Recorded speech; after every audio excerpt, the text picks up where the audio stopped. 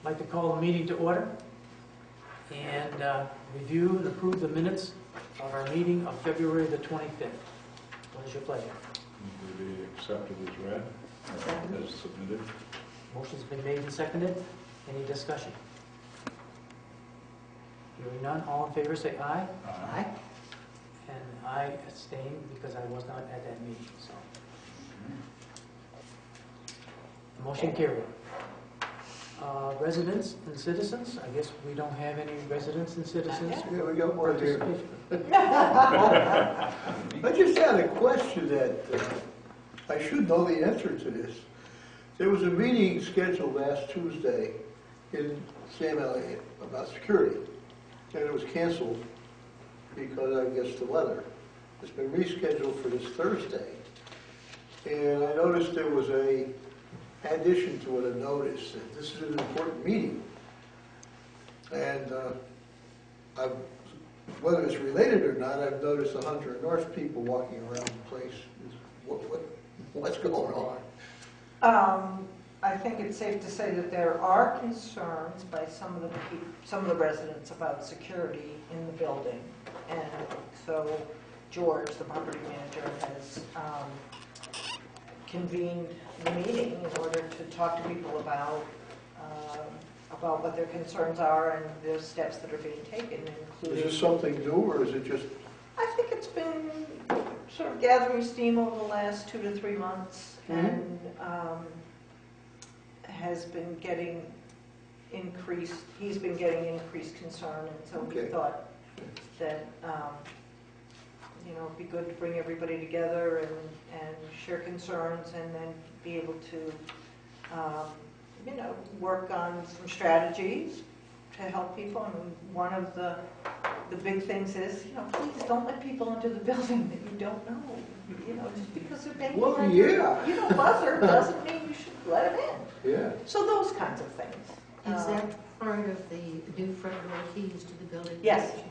To all tenants by the end of April? Yep. Al- Although we, we were working on the new front door keys anyway, because mm, There's a lot of keys out there. there are a lot of keys out there, and we don't feel like we have I really. mean, No, that was a timely, thing. that was good. Yeah, after 31 years, there are a lot of kids Yeah, out there. and also these keys will be cheaper to replace, so, That's even better. yeah.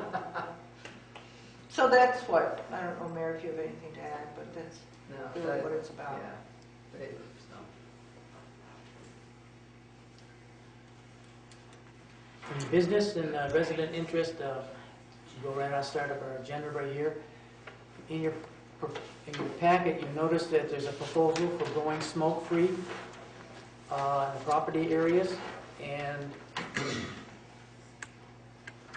like to bring that up right now and see if anybody has any questions or any, any comments.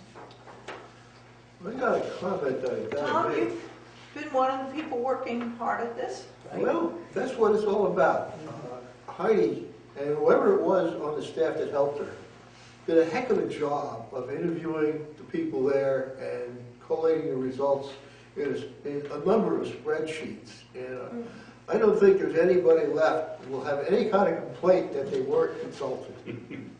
So my, my uh, kudos to Heidi and whoever it was, I don't know the names, but I know she had help. They did a great job. I think it was Jen, Oh, great.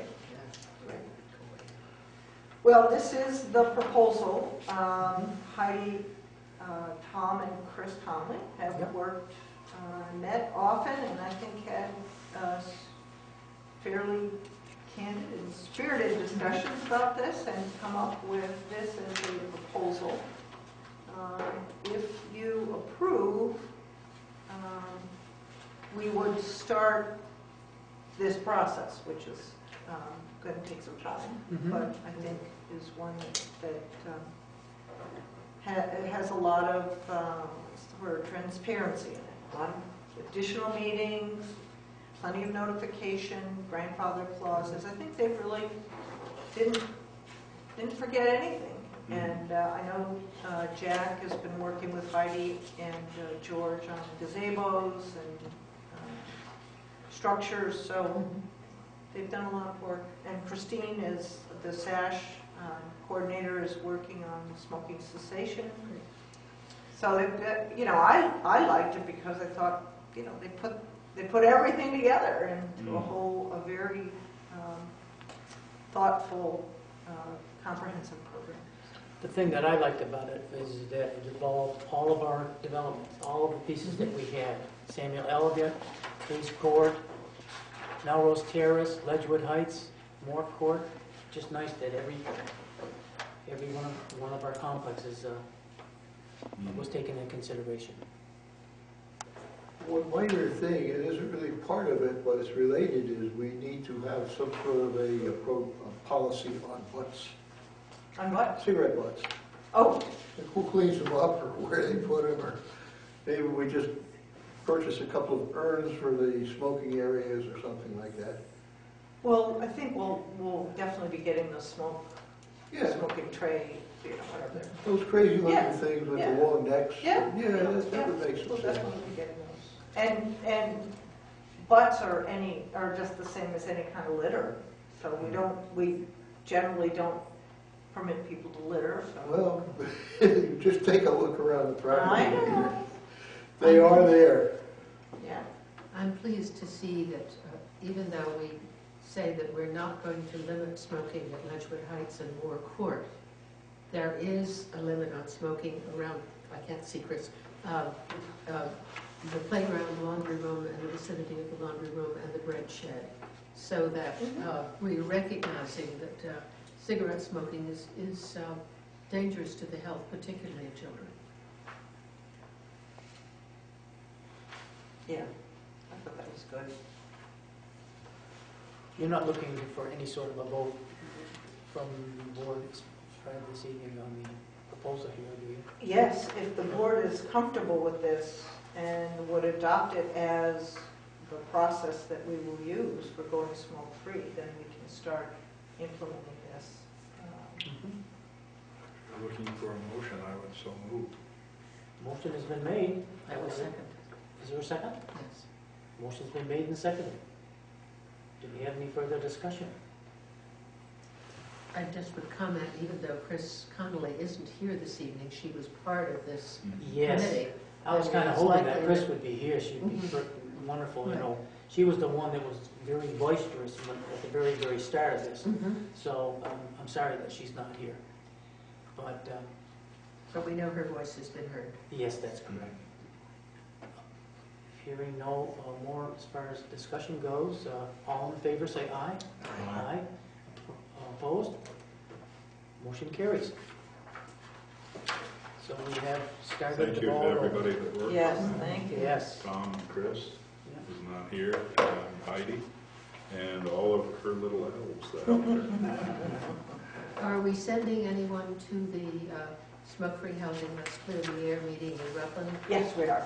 I I noticed that too. Let's see, Uh, I date. know that, I think Heidi is going, and I think Christine Hazard is going as well. So we have fo- a couple of folks that are going. Excuse me, can I ask people to speak up? There's a little Oh, acoustic issue here, and I don't get the names of your organizations. Very Thank good. you. Did you hear Willie? Definitely. Yeah, especially the one you just said. The uh, smoke-free housing, let's Oh. clear the air, a meeting in Rutland. Other, And we have two staff. A meeting where? Rutland, Rutland, Vermont. Rutland, Vermont. Thank you. Sorry. But it's uh, surprising how many other organizations are doing the same thing. We've been wrestling with this for so long, and- but we're not alone. You know, everybody else is doing the same thing. So that's good to know. So that date is Wednesday, May 22nd, at the Franklin Conference Center up in Rutland, Vermont, so. And we will have representation there as as well. Good. Um,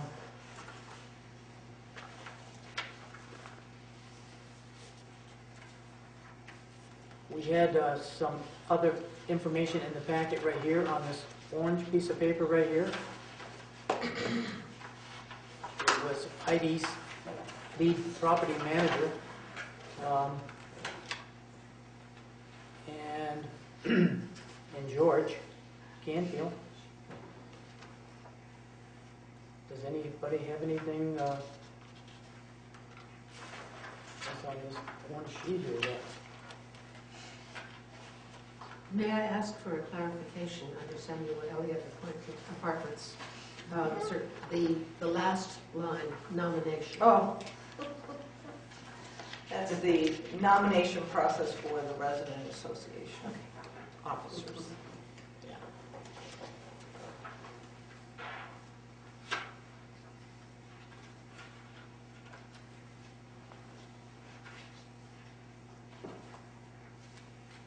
so one, if no one has any questions on that?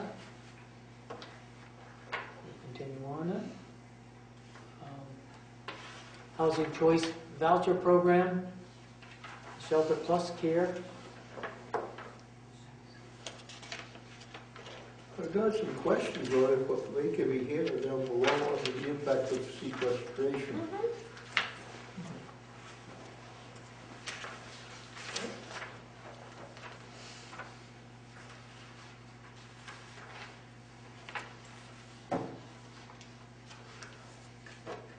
And uh, just this afternoon, we were told that one of our public housing family self-sufficiency folks has gotten a job.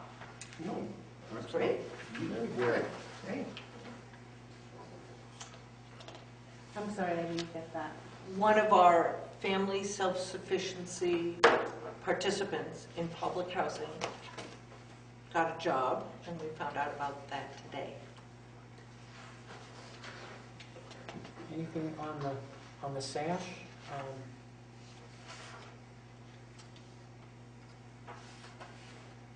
That we'd like to share with everybody?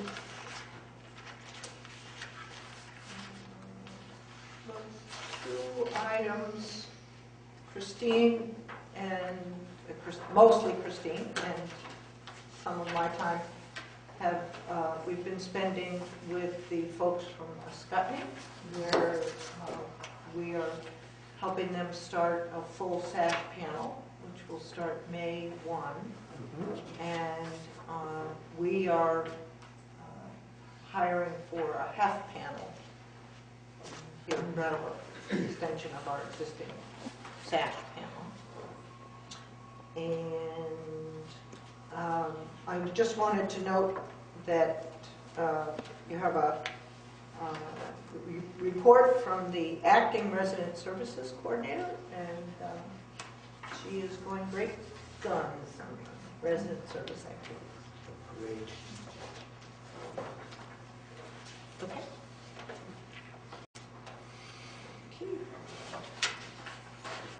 Now, the section eight, on, uh, the, uh, on the yellow sheet of paper we have right here, um, section eight, uh, shelter plus care.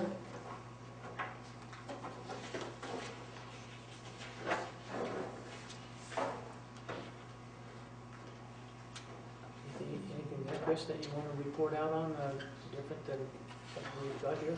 No, just to note that we are working with the human service agencies in the community on um, re- um, responding to a uh, request for proposals for this family supportive housing program, which the agency has proposed in order to reduce the number of nights that homeless folks are put up in motels. So David uh, has been working with them, and we've um, crafted a uh, change in our transitions to housing program so that we can use half of the um, housing units funded by that for this other program. The Family Supportive Housing Program has funding for case management services, but not housing. And in Brattleboro, we were faced with the dilemma of how do you fund for housing when nobody has extra housing money? So we've um, put this together and we're working with the Winston Prouty Center, which is the lead agency, and the other agencies.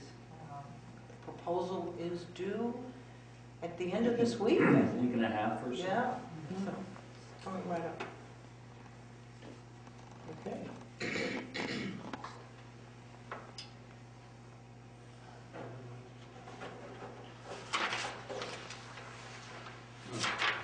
That property redevelopment uh, manager, here we got redevelopment of Melrose developer.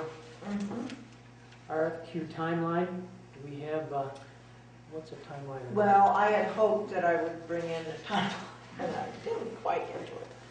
Uh, But under the uh, request for qualifications, we should be bringing you a recommendation on a development partner at your April meeting.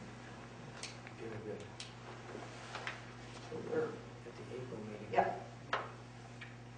And Marshall has agreed to help us read the submission. Your disappointment is not nearly as great as mine, I will. But that's okay. I can't complain, just as long as the glasses.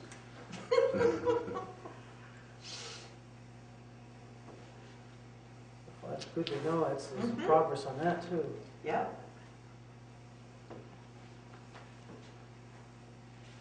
Now, the impact on the federal sequest- Sequestration. sequest- Say that sequestration, yes. six times. in Sounds like an Olympic. Yes, it does, it does. Yeah. Public health in section eight Yeah. program.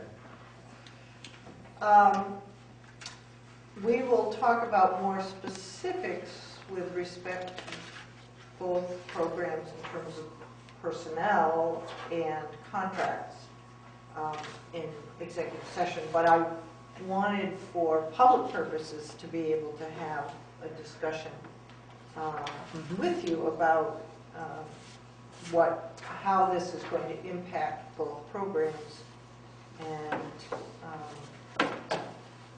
our budget is uh, actually built around um, a lower probate- proration in public housing than we're going to end up with, we think. Um, Mhm. Not by much, but by a little. Um, So that's the good Probably news. being prudent at this point. Yeah, Is that's, that because we were determined a high-performing housing authority? No, No, I know no, that there that's have been because our crystal ball on where they would end up um, Okay. was a little murky. Very murky. It was sort of like anybody's guess.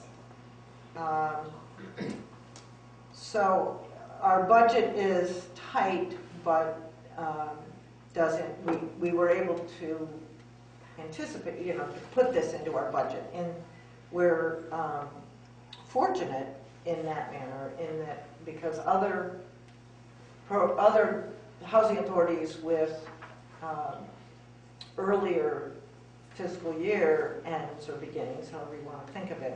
Um, Those that aren't March have, you know, built a budget that they're already in that's Mm. going to be hit with this. So Mhm. last year, they took back their reserves, this year they're doing this. It's just really unfortunate.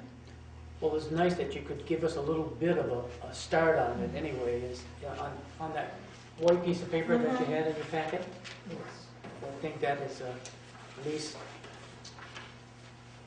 get us thinking about it. Yeah, and I, I think, um, I put on your, um, in front of your place, uh, two resolutions that David and Mary and I have been working on. Um, And we can either, you can either, we can review them generally right now, and if you're comfortable, adopt them now, or wait until we've had a discussion if you need um, more specific information in terms of um, not uh, participants, but impact on a certain landlord, for instance, we would, we would want to do that executive session because this is going to affect those contracts. Um, But generally, um, it's our recommendation that we reduce our payment standard to ninety percent. And in doing that, that we also, um, and if you can read David's um, scroll here on the other one, you will see I I figured that's why he was here. to Yes. Answer questions. that in, in lowering, in lowering the payment standard, we also um, want to limit the rent burden um, to no more than 50% for any individual family or individual in the program. Um, There are some, there are not, I think it's 10 at the most, um, that would be affected by this. So I thought that was a good re- suggestion, that we say, okay, we're going to lower it. Yes, it is, it means the tenant will pay more, uh, but we will cap that at 50%. Now, is this going to affect virtually all of our tenants? Yes, it will. With, it- this is for everybody that is in, we have two programs, the tenant-based program and the project-based program. Project-based being AWR and Everstory, where the subsidy is in the building, not with an individual. We are only talking about the tenant-based program, and that's the program where we have the most participants. So everybody in that program would be affected.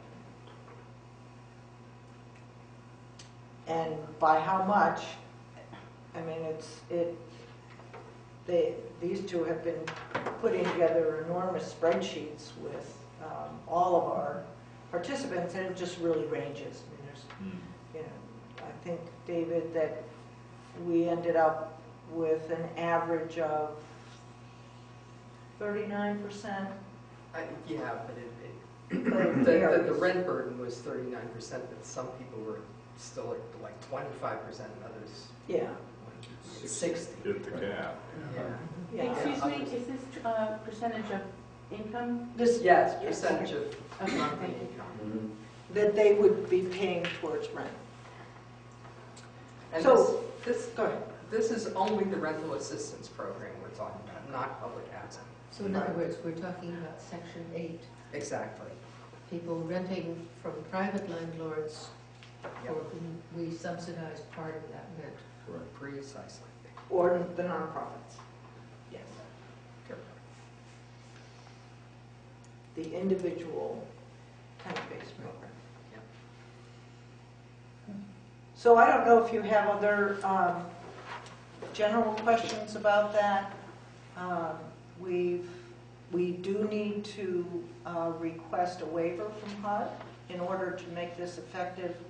Um, You know, we say immediately, but it really would be, uh, if we can get it through and approved by HUD, the earliest would be June 1. Well, Because there's notice requirements that we have to do, and we obviously need to be doing a lot of administrative work Hmm. and uh, letting people know.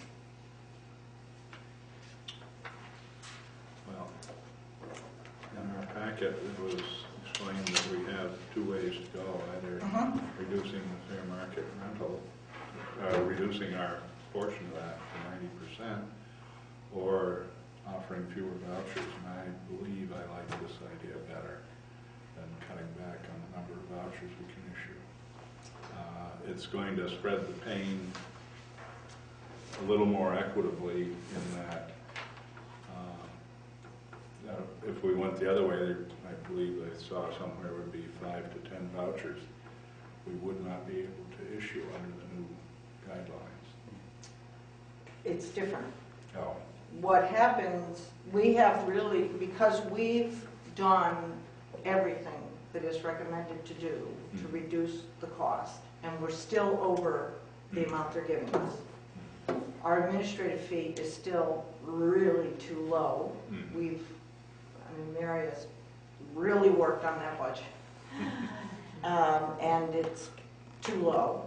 Um, So what we asked in resolution number two is that in the event that we still need to reduce costs, the only option we have is to remove families from the voucher program. And that means that we would be taking people yeah. Off the program. My point is, Which we by don't want going, to do. We don't want to, but we Yeah. may have Have to to, if, let's say we, we write a good letter and we make our arguments to HUD about going to the ninety percent, and for some reason they say no. The only option that we have Hmm. is to remove people from the voucher program. And that's, that is, we will clearly be telling HUD that in our waiver. But um, we have to have that as a policy adopted by the board so that we can use that. Or with the sequestration, we will literally be out of money. Hmm. We don't, we aren't getting enough to run No. the program at its current size. And its current size is almost, well, it's 32 vouchers lower than what HUD, where HUD says we should be. Hmm. They say we should be funded to have 187 vouchers in the community, and they've only been giving us funding for 155, and that's been a little over budget. Hmm. Yeah. So with these cuts, Mm. there's no way that we can do this if they don't let us lower this payment state. And it's not like we have a daddy Warbucks in the back room that can write a check for us. We have, we have to make good business decisions. Well, we want to pay the landlord, you know, just a little bit. like. So we have right I don't now, blame them either. Yeah, we have right now about hundred fifty-five vouchers. we do. About, no, that's a little more than we have, isn't? Even less, Yeah, we have about 145 and forty-five, and what is it, seven ports? seven for, so one forty-five, one forty-six housing choice vouchers currently. Okay. That, that come out of our pocket. There are seven we administer, but other housing authorities give us the money for them. And in the worst-case situation, we would maybe lose as many as five. No, No. we would need to get, we would, depending on when this happened, we might have to take back 15 vouchers. Fifteen. So And what it'll- It'll be the oldest ones first. yes, that's what we're That- recommending. That's that's our proposal. First in, first off. Mhm. Is this voucher program section eight specifically? Yes, Yes. Mhm. Section 8, tenant-based voucher program. I know that this last, this last month here, I signed the checks for all of the different vouchers that we had. Is I was just shocked of how many that we, that we make out every, every Mhm. month Yeah. for, uh, for these uh, supplemental type of things here with landlords. I'm just, it was absolutely shocked. What are the uh, options for the landlord? The option for the Well, landlord, If the tenant is unable to come up with the extra money, under the under the reduced, reduced payment, well, the option is that the tenant will need to find a less expensive apartment. okay, so, so the tenant then would be the one to move. And, you know, we'll, we'll be notifying landlords, and they could renegotiate rents with the tenants to make it a little more affordable. That's certainly an option. There are, mm-hmm. there's at least one housing authority that is apparently unilaterally lowering their contract rents with the landlords, but hmm. We don't think we can do that. Wait, forget it. No, no. But Nor you do know, we want to. But to answer your question, is if there are any Section 8 tenant-based voucher participants that feel that this increase is going to be too severe on their monthly budget, then they have the option of contacting me uh, to inform me of such, and then I would work with them to try to find them alternative housing that is less expensive for them. Not a guarantee in a tight housing market for affordable housing, but an option for them. Well, I remember, David, you talked about uh, the Section 8 voucher being attractive to landlords because payment is reliable. Hmm. It may not be as much as you want it to be, but it's reliably there. Right. And this will be less payment, but still reliably there. Mhm. Some may elect to do that. Sure, yes. So a, a good paying tenant is, is quite an asset. Mhm. Yeah. Well, there were several steps that we needed to look at before we got to this next to last step, and just to share with you what those are, and I need to let HUD know this in my request for the waiver. is looking at increasing our effort in income matching, anti-fraud efforts. We're all over that every day. We're ensuring accurate utility allowances. Um, We haven't absorbed, in other words, we haven't taken over the funding of someone coming from another jurisdiction to Brattleboro, which is again absorbing a port. Uh, We, uh, the last absorption we, we uh, took on was two years ago. Uh, Performing more frequent interim reexaminations and looking at household income, that's ongoing with us anyway, that's part of our Section 8 policy. Uh, We looked at the concept of a minimum rent, but we have but, but three participants in this program with zero incomes. So for our laborers and having to chase after and looking to make sure that they're reporting income for a fifty dollar a month increase is, is not worth the effort. Uh, and that trade-off. Uh, stop our voucher issuances. Folks, I haven't issued a voucher. The last one I issued was nine months ago. So I can't pull those back. There's no one is out looking. We looked at the subsidy standard, that being the bedroom size in comparison to the household size. That was tight, so there wasn't any, any room to uh, make adjustments there. And then the next step is to review our payment standards, and that's where we are tonight. Hmm. How long have you been in that David? Eight, eight- eight plus? Yeah. Yeah. Time flies. Um, But I have to say that David um, and then Mary coming on board really, really run a very, very tight program. It's a really excellent Section 8 program. I mean, it's been a, they've been a high performer um, every year that we've been assessed under the HUD um, Section 8 assessment. And as David just said, they, he really is on top of all of this. So there's just, we wouldn't, we wouldn't bring this to you if we, if I didn't have confidence that Mm. they've really turned over every stone and continue to. Um, I mean, I think David runs a really excellent program. and, um, It's gonna be a whole different way of doing business, isn't it, for you, Dave? Absolutely. This is, this is Absolutely. really amazing. how- Yeah. Wow. And this isn't just this year, folks, Yeah. you know, this Yeah. is the next ten years. Yeah, well, the next two for sure. Exactly. Yeah. For sure. Let's, For let's sure. be optimistic. After that, that, that doesn't make the next two years any easier to face. Uh, May I ask a question? Could you walk me through how you arrived at the first in, first out basis?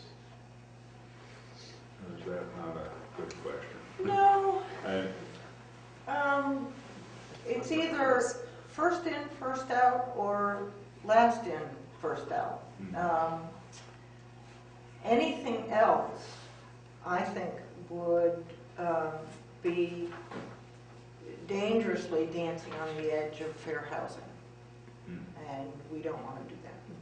So you have to find a, a non-discriminatory basis on which you are going to be making a decision that you are going to be removing people.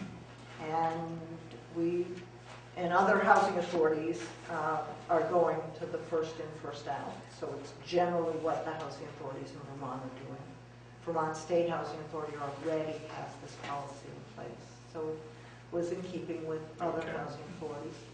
And um, I think the, the basis of it is to say, if you've been on the program for a very long time, um, relative to people that got a voucher nine months ago Mhm.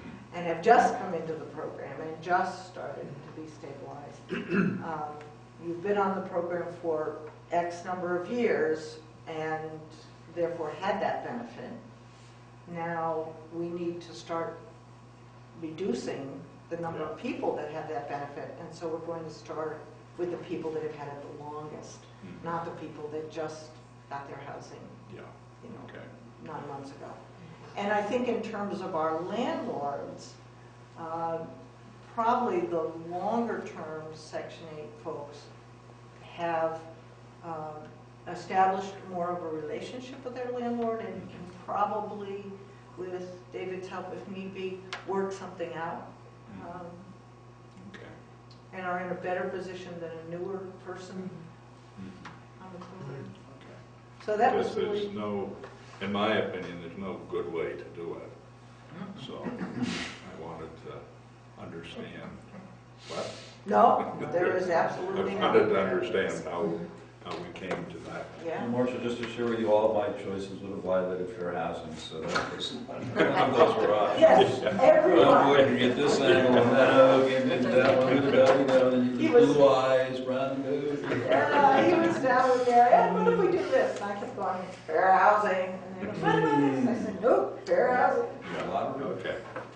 Are you gonna run out of different sources when people start coming back, looking for you to find cheaper way that you can find them ways to make their rent? I'm, uh, I'm just wondering here, if you're, you're, you're just gonna get inundated. Yeah, but, you know, I, I look at the, the pool of landlords that we're under contract with, and we're really, we've got a great group of landlords in Brattleboro. So I think all of those landlords would be willing to work with us and the tenant to continue their housing. Good. That's a good answer. Yeah. Yeah, I think that's true. And um, there, on this page, there are some of the mechanics that will go into this. Um, But just so that you know, one of the um, other things that we've talked about quite a bit is, um, well, would we raise the payment standard again if we lower it? And certainly if we took people off, would we, how would we handle that? Um, And the answer is that if we get to a place where we see a reliable uh, future funding that looks, more than looks, that is truly going to be stable, um, then by all means, Mhm. we will begin to, you know, undo this. Um, Now, one of the suggestions that I think was a really good one is that the people, if we do have to go to the second position, which is actually remove people, they would go back on the waiting list with their original date Mm. Of application. So that means they're first in line to get vouchers as soon as we start, if we can lease them Yeah. out. So not only is it first in, first out, but it's also then those people go to the top of the list, basically. Mhm. That's a Which- good way of doing it. Yeah, I thought that was a very good suggestion. Um, But, you know, determine a reliable, stable, secure funding future, right now, that's pretty tough to do, so um, we think this is the best way to go. Well, I want to thank you people. You've done a lot of work. You, you've helped us make a decision, or I think we're going to make a decision. That's the best we can do. And you've done all the soul searching and laying awake at nights trying to figure out how to make things work. So thank you very much.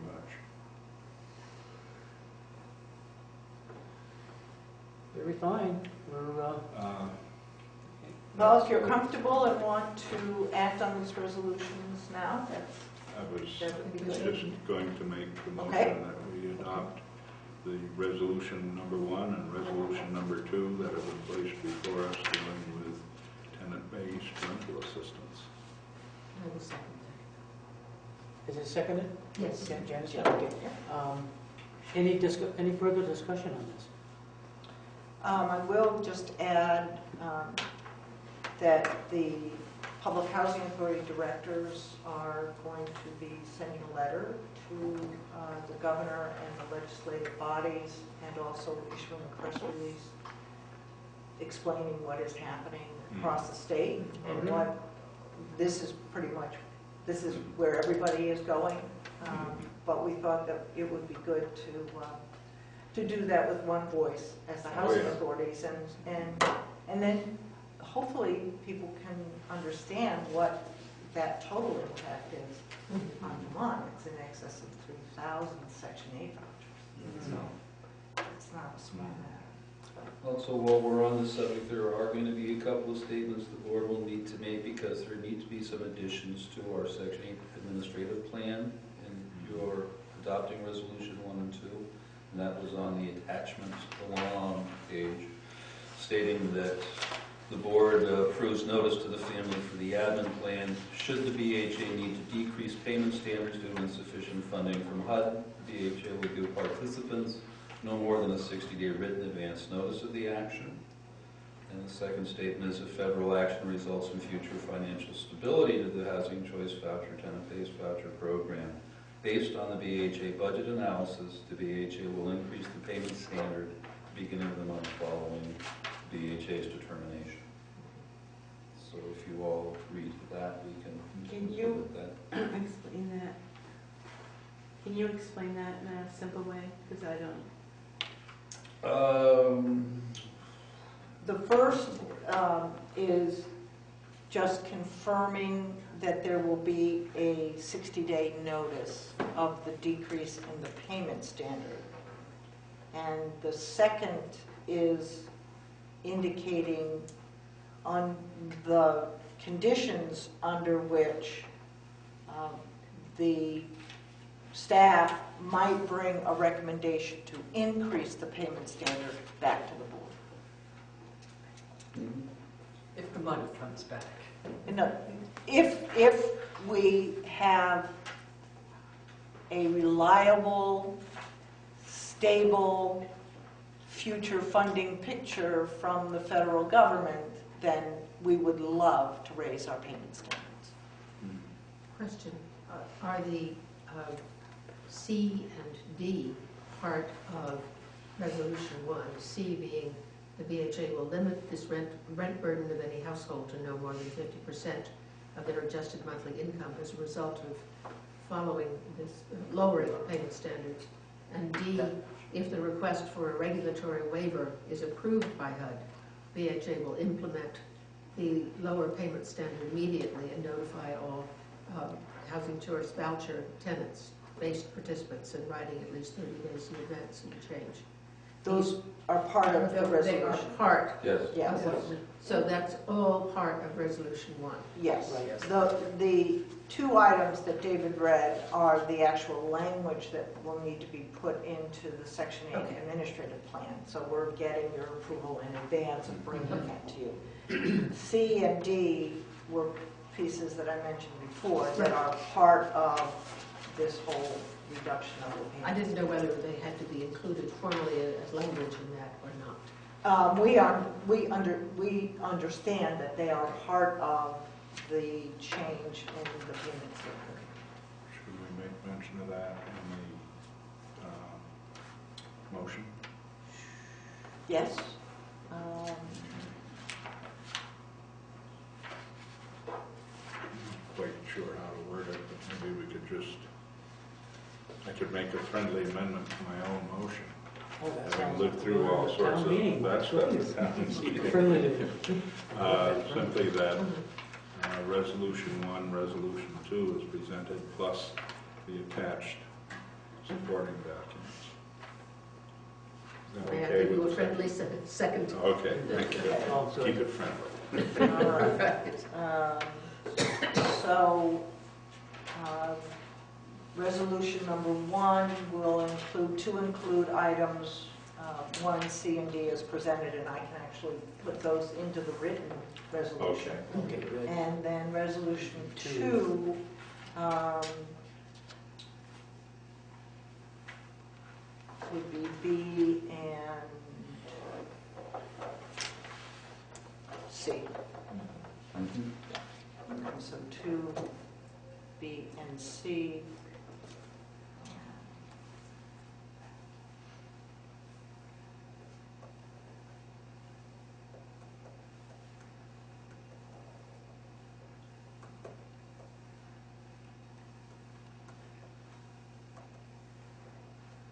So these resolutions, Yep.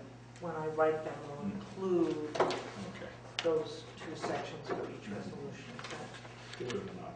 good? Are we ready for the question? Yes. All in favor, say aye. Aye. Aye. Opposed? Motion carries. Hmm. No. Chris, you said there will be a letter going from, uh, to the state government. Yeah, Copies of that letter be available so that we can send one to the town offices, either directed either to the uh, town manager or to the board of selectmen and say, this is what we are changing, in the- as explained in the letter that goes to, it's going to the state. um, which letter are you, Okay, the one that's explaining to the governor the actions that, that the housing authorities have taken? yes, Certainly, the joint letter will go to you and I'll email it right away. Okay. Yeah, and then a copy of that would be made available to the town. I can certainly I, I think it would be send it appropriate that we immediately let to them the town, know. yeah, yeah. Because there are likely to be questions. I mean, a lot of people are going to, going to be aware of what we've done, but I think it's important that we keep the town notified as well. Why don't I um, send an email tomorrow to the town Okay. manager? Okay. And just say, these are the two resolutions that Hmm. the board adopted. And um, certainly if the board wants you to come to visit them, or Hmm. um, Barb wants to have more of a conversation, let us know. Yeah, We understand good this enough, is yeah. serious, and we're, we're happy to. Would keep them in the loop at the same time. Absolutely, Yeah, yeah. yeah, sure. I will do that. Um, This financial review, you gave us, Mary, uh, this, this sheet and another packet that we have right here. Do you, anything you wanted to mention on that, on the financial review? Uh, not- That's for executive session. Oh, okay, Yeah. all right, all right. Just the um, Um, check I'll, I'll just leave it out for me, we'll talk about it, we will. Check signing, Tom, you're, you're handling the month of March? Well, it's almost over. I know He's it, been you've doing an just a excellent day or job. two. Soon Chris in April. Janet in May, Yes, and I It's over. have, Rachel's in June. Much? Oh, yeah. I have a conflict on May 3rd, so I would, it's a, a five Friday month, so I'll thank you very Just- much. Bill. I just. Okay. just holler, I will be Oh, more than oh, okay, happy I to. was gonna say, just remind me at our April meeting. but- No, no, no, I'm just. Bill really wants to do I'll it. be happy. Thank you very much. Um, other business? Anybody else have any other business? Oh, I do. I apologize. I have uh, two items. Mhm. One, just informational, just, uh, we got a newsletter in today that just, the sequestration, just Mm. um, a little more information. But most importantly, um, You take all of this, just, yeah, it should be fine. I wanted to let you know that, um, Sure. Mary has her own copy. yes, I think she does. If there's, if she's actually. There's one right here. Okay. Yeah, that's yours. Oh, there- well, that's it. All right. I've got a copy of the whole meeting. This is just more news from today about where the numbers are at. Um, Most importantly, I wanted to tell you about this. Um, As you know, we have a group of graduate students from the Harvard uh, Graduate School working with us on the uh, Melrose rehousing project. And um, they are, their project is called a Community Development Project, CDP. Got that? Um, And we have given them a great list of folks. They're coming this Friday and Saturday. Uh, They're going to be interviewing a wide range of people both days and have set up this um, session on Saturday to meet with the Melrose residents. You all are very well invited to attend, um, to talk about um, new residences, services, what, just to get the conversation started again It's been in a lull while we've been uh, getting ourselves organized and doing all that good stuff. Um, So I think this is great, a great way to start the community involvement. They'll be meeting with uh, West Brattleboro Association people and town people. Just gave them a whole long list of folks to contact. So, I just want to let you know about it and know that you are invited and that is, uh, this, we're very fortunate to have this group working with us. Um, We were, um, they were sent to us, we were sent to them via uh, Susan Minter, who was the um, Irene czarina in the state government for a while. She's a graduate of this program and knew that they had the, these, in, you know, these kinds of projects going and said, gee, you know, we've got this group in Brattleboro, and so we've been working on hooking up and think that this will make a great program, a great project for them, and a really, really excellent um, piece of work for us in terms of having community conversations around where are we going to go, what's it going to look like, the whole, the whole of this big undertaking. So so that's it. Thank you. Anybody have any, uh, anything else to come before the meeting? If not, I uh, would like to close the meeting and uh, go into executive session. So moved. Second.